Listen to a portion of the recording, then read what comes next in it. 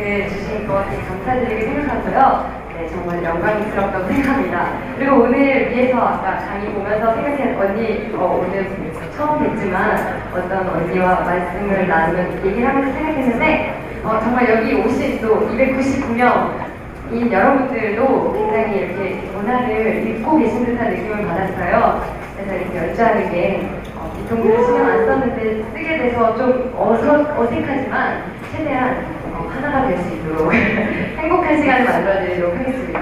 감사합니다. 네. 그래서 저는 조금 어, 이렇게 이거 프로젝트 되게 이상호 선생님 하시고 되게 멋있다고 생각했는데 저는 그 프로젝트가 없네요. 하지만 저는 이제 아무래도 여러분들의 귀를 어, 귀에 여러분들의 통찰력이 있습니다. 제가 어떤 이야기를 할 건지를 이렇게 예민하게 들어주시면 좋을 것 같고요. 어, 먼저 곡 소개. 어, 오늘 연주 시간이 굉장히 정해져 있고 빠듯하기 때문에 말을 짧게 해야 되는데요. 어, 벌써 1분, 2분 갔을까봐 너무 걱정이에요. 연주를 많이 들려드리는 게 좋잖아요. 네, 말하는 거가 별로여서. 네. 어쨌든 첫 곡은요, Walking the Cash라는 곡입니다. 이 곡은 어, 제가 미스코리아 이번 2010 미스코리아 음악을 맡게 되면서 그 걸어가, 걸어가는 미스코리아들을 생각해보니까 되게 우아하고 막 이럴 것 같았어요. 그래서 거기에 영감을 받으려고 생각하니까 어, 고양이가 걸어다니는 게 생각이 나는 거예요. 고양이가 우아하게 걷는 모습이 사실 어, 제가 먼저 만들었는데 슈렉이 그 다음에 개봉을 했습니다. 근데 거기 나오는 그 고양이는 좀 다른 것 같아요. 네, 슈렉에 나오는 고양이거든요. 가죽 잠바 입고 걸어다니는 네, 제 고양이랑 좀 닮았습니다. 제 고양이 드레스를 입을게요. 그래서 그 고양이에 관한 어, 에피소드가 담긴 곡이었고요. 이번에 들려드릴 곡은 음, 어, 인형의 꿈이라는 곡이에요. 그래서 인형의 꿈은 어, 릴 때 누구나 여자분들을 가지고 놀아봤던 그 바비 인형에 관한 에피소드를 담았어요. 그래서 그 인형이 어, 어느 날 사람이 되고 싶은 거예요. 왜 그랬냐면 어, 우리가 어렸을 때는 그런 입장이었죠. 인형을 사고 싶어 했던. 근데 인형 입장에서는 답답한 그 박스 안에서 투명한 박스 안에서 웃고도 있고요. 사람들이 다 엄마 저거 사주세요 하는 친구들만 하고 만났어요. 그러다가 인형이 생각하죠. 어, 그러고 보니까 나는 저렇게 울고 투정하는 아이들을 보면서 나에게는 가족이 없다면서 외로운 느낌이다. 그래서 사실 되게 슬픈 곡이고요. 제가 이 곡을 연주할 때는 어, 그냥 그 인형의 입장에서 스토리를 만들어 봅니다. 그래서 어, 재즈라는 음악이 원래 어, 인서퍼레이션이라는 단어를 많이 쓰게 만큼 연주를 많이 하는데요. 오늘만큼은 어, 푹 빠져서 연주를 한번 해볼까 합니다. 네, 인형의 꿈이라는 곡입니다. 감사합니다.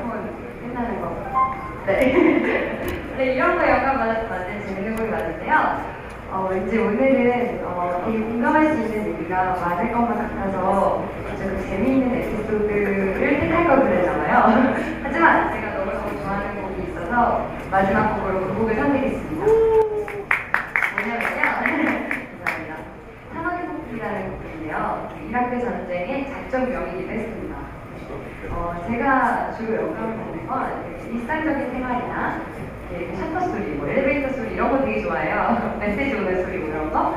그런데 제가 항상 눈물을 쏟으면서 매번 연주하게 되는 그런 아이디어는 어, 그냥 전쟁 이런 거인 것 같아요. 왠지는 모르겠는데 항상 나라 지키고 싶다면서 군인 되고 싶다고 그랬고요. 항상 뭔가 어, 도로에 물론 모든 분들이 되게 대단한 분들이지만 그리고 우리가 있어서 이 나라가 돌아가고 있지만 그렇지만 모르겠어요. 제가 제일 좋아하는 건 사실 여경, 그러니까 경찰들, 군인들 이렇게 나라를 지키는 분들입니다.